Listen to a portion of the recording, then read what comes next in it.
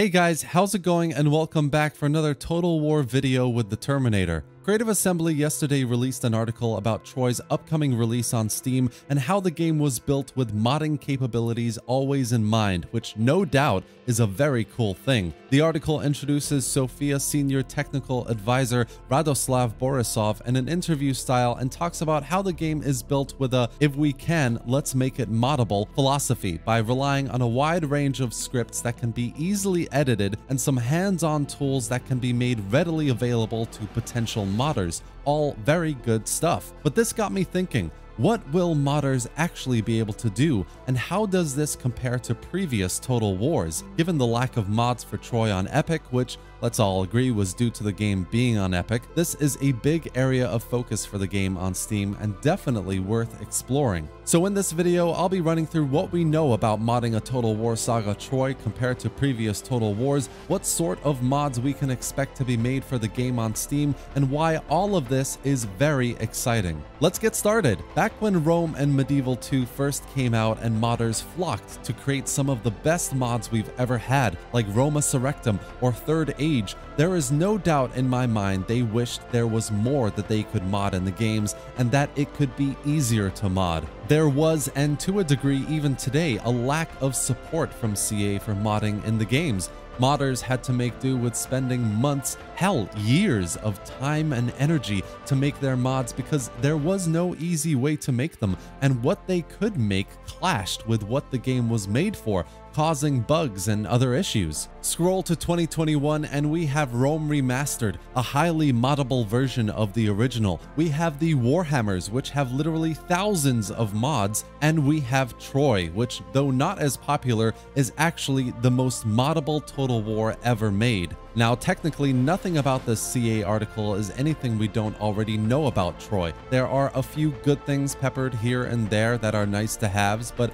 every modder out there already knows that every new Total War game that comes out is even more moddable than its predecessor, and Troy is definitely no exception. This article is essentially a promotional piece for modders out there to get the game on Steam when it comes out and start flexing their modding muscles. Make some great mods that keep the playing audience on the game, keep things fresh and interesting, and for the most part, that's what makes most Total Wars replayable. I was speaking to one of my subscribers today who calls himself the Duke, a modder who created the End Times mod for Warhammer 2 by the way, so shout out to him and check out the mod linked below.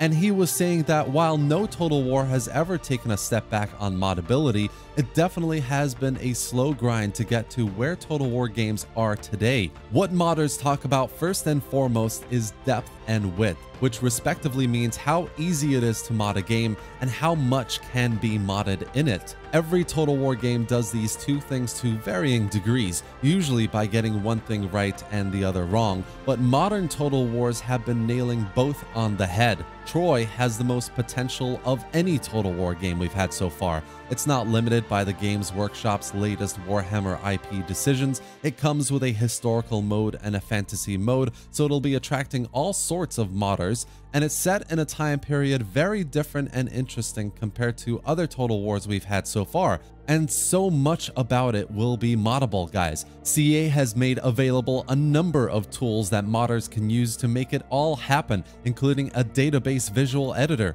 a resource exporter, a battle map editor, a whole tool just for creating and editing units and export plugins, all of these and more will come together to give modders the best tools they can have to make modding Troy as easy as possible, and through these tools we can expect a lot, from individual unit stats all the way to perhaps expanding the campaign map to include Egypt, adding new settlements, and creating brand new battle maps. Troy will have it all. The only area I would not expect extensive changes for is the AI, which, as every Total War game has, is too hard hard-coded into the game for modders really to touch. We already have a good idea of what kinds of mods we can expect from Troy as well on the Epic Store with the Radious Overhaul mod, which adds rebalancing, reworked economy, reskinned units, and more, or mods that affect specific things like faster research, lessening auto-resolve casualties, etc. But let's be honest, the game wasn't exactly that popular on Epic,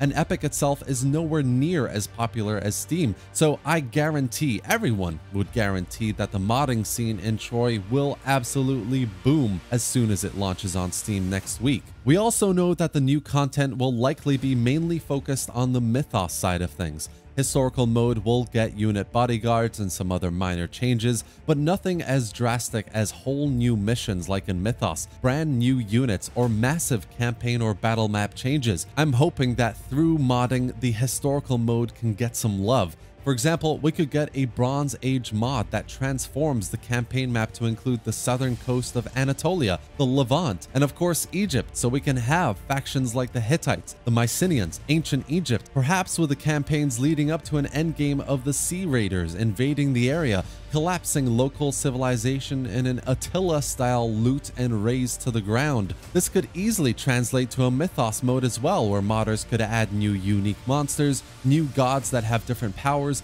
benefits, and building chains, and more. The possibilities are endless. I'm talking about overhaul mods here, of course, mods that rebalance, add new features like population, politics, new units, new factions, new settlements, and that turn the game into something brand new and amazing. I mean, who knows, we could even get a new Lord of the Rings mod with loads of brilliant looking monsters and fabulous story missions, but we'll also get more minor mods that affect things like expansion of the new administration mechanic, that tweak AI bonuses, for example, that work in the background, or we might get expanded settlement building slots, or even, dare I say, naval units and battles. So much is possible with Troy. The modability of the game has never been better, which is what makes this so exciting. Previous Total Wars have all suffered from various modding issues, bugs, or lack of modding support from Creative Assembly, but Troy is different. Troy is the pinnacle of modability for Total War games,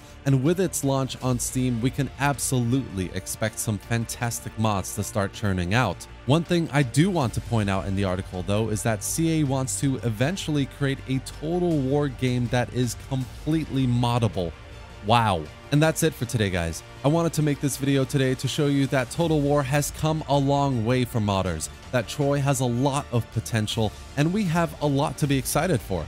I don't mean to hype it up the way literally everyone did for Rome Remastered, but I think there is cause for hope when it comes to what can be done with Troy. Hope you enjoyed this video guys and found it informative. If you did, give it a like and drop any thoughts or questions in the comment section below. What mods do you want to see for a Total War Saga Troy? Subscribe for more Total War content, gameplay, and news.